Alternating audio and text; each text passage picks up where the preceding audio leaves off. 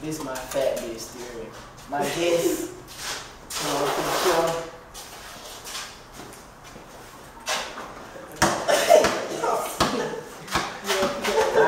Tell her, tell her about your thing in the fat world at school. You know what I'm saying?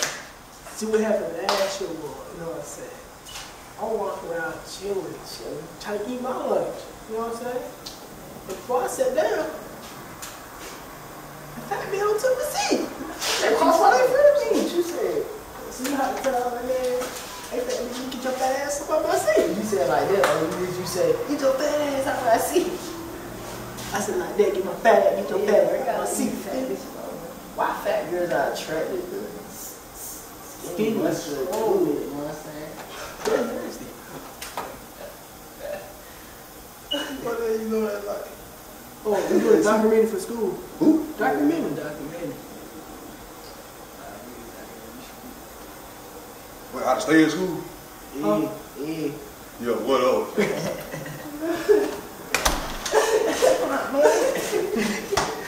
I think Coach told me. No longer Friday. You're fucking there. You said I'm calling Sarah.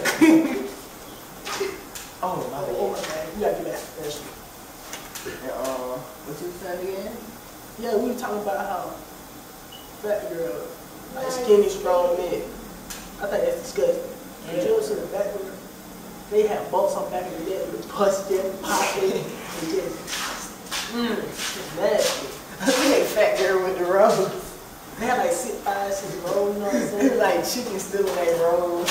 Uh, Of warmed That's up. why they smell like hot dog water. smell like hot dog water with Cheeto with milk inside of. Oh, the other, them slim fat girl, like when they fat, but the fat don't roll, like three roll, they got one fat roll that cover up their Man. Hey, sugar. Hey, that fat girl gotta lift they fat up to get it. Fat dudes too.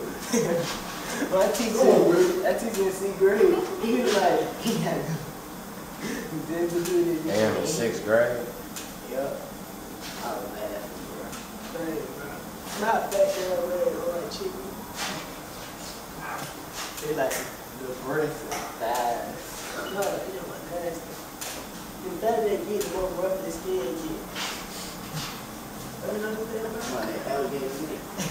bro? Ooh, Sequoia that, boy. On, why you let me a minute. Boy, You boy. never named it, not That shit was.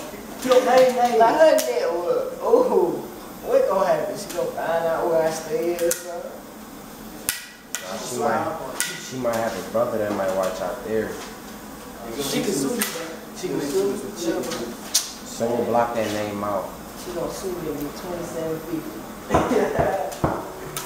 We stopped on the minute. You know what I'm saying? Day one, it's over with.